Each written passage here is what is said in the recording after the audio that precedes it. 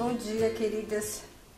Eu tenho ensinado a fazer bolsinhas de patchwork e tem gente que não sabe lidar com fecho a metro, que é mais barato. Você compra 10 metros e você faz várias bolsinhas, entende? Eu praticamente eu só uso fecho a metro e não tenho dificuldade em colocar. Tá vendo? O lado direito e o lado avesso. Então, o direito, certo? Você vai colocar desse jeito vai colocar alfinete. Ó, coloca alfinete direito, com tecido direito e passa uma costura. Eu vou passar de preto para você enxergar.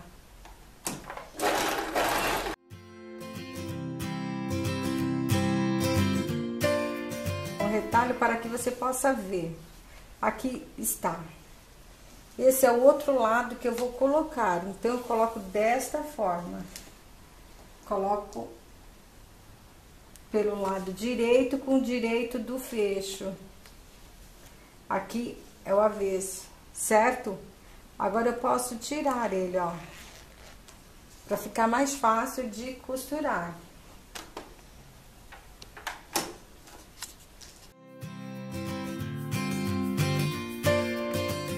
Já uni. Ó, uni os dois lados, certo? Esse e esse. Como se fosse na bolsinha, faz de conta que é uma bolsinha. Já está. Você acerta os biquinhos. Este aqui eu faço um ligeiro, ó, corte em viés, ó. Fica mais fácil. Não é difícil colocar o cursor. Esse é o maior, é mais fácil, né? Quando é o cursor menor é um pouquinho mais difícil. Lado reto, coloco o fecho, o cursor. E o lado que eu fiz o cortinho vem desse jeito. Agora é só encaixar. Tem que ter o um jeitinho.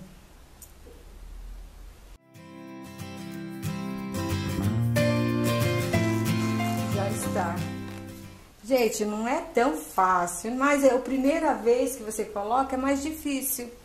Depois você vai testando, certo? E tem um lado, se você não conseguir colocar por esse lado, é porque não é. Tem um lado certo, tá? Então, de novo, vamos lá. Coloquei o lado reto e o lado inclinadinho aqui. Não pode ter nenhum pelinho na, no caminho, tá? Corta com a tesoura encaixa, segura bem, tá? Pra puxar. E foi. Vai aí fazendo teste. Tenha calma, sabe que na costura tem que ter muita paciência. Um abraço e até a próxima dica.